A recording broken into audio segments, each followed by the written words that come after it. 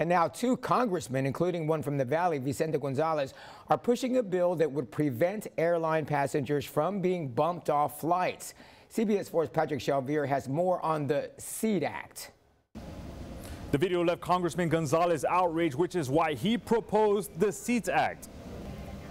Just weeks after this video made headlines around the nation showing a passenger being dragged off a United Airlines flight, local Representative Vicente Gonzalez along with Florida Representative Neil Dunn filed the Secure Equity in Airline Transportation Act or SEATS Act.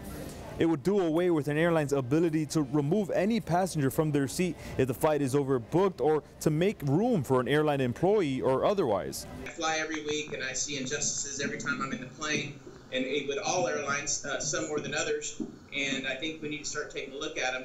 We caught up with passengers at Valley International Airport. As long as, as long as you pay for your ticket and you're on, on, on time and all that, you should be you should be on, on, on your seat and all that. They shouldn't they shouldn't kick you out of the airplane.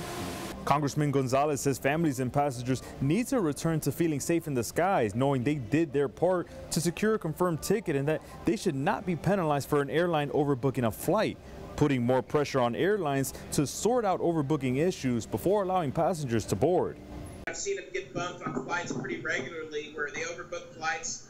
Uh, most airlines will sell 20% more of the seats available, and assuming that some folks don't show up, but when they all do, then they're scrambling to try to, you know, give you a little bonus to take the next flight Gonzalez said the bill would not interfere with any policies airlines already have in place or have changed since that United Airlines video went viral. He also said that law enforcement would be allowed to remove a passenger from a flight if they deem that passenger to be a threat to safety to others.